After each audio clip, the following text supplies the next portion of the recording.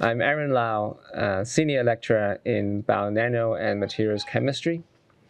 So I teach uh, third year and fifth year and also run a research group uh, of about five people.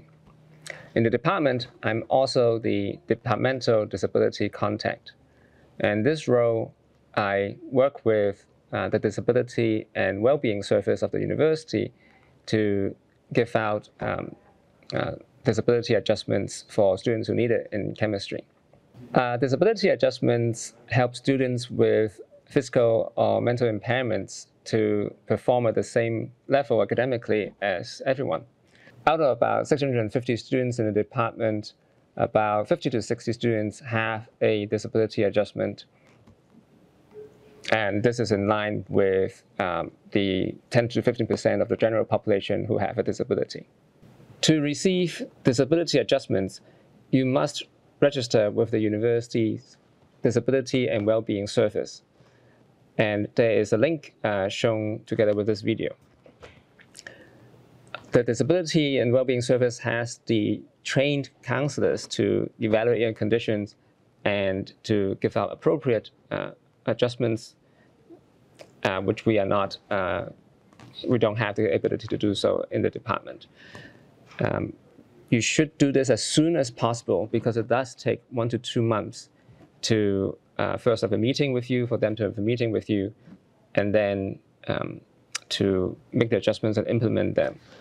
And then once that is in the record, uh, that information is given to me, and we will implement it, whether it's for teaching or for class tests or exams.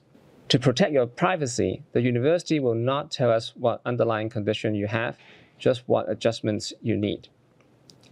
It's your personal choice whether you tell your lecturers about uh, your condition, but I strongly urge you actually to let your lecturers know what adjustments that uh, you do have, just to remind them. And in, in a large class, uh, it's also much easier to implement uh, teaching adjustments if they know who you are. Disability adjustments are about inclusivity and well-being. Remember that many conditions are hidden, from dyslexia to hearing impairments, uh, while others are more visible.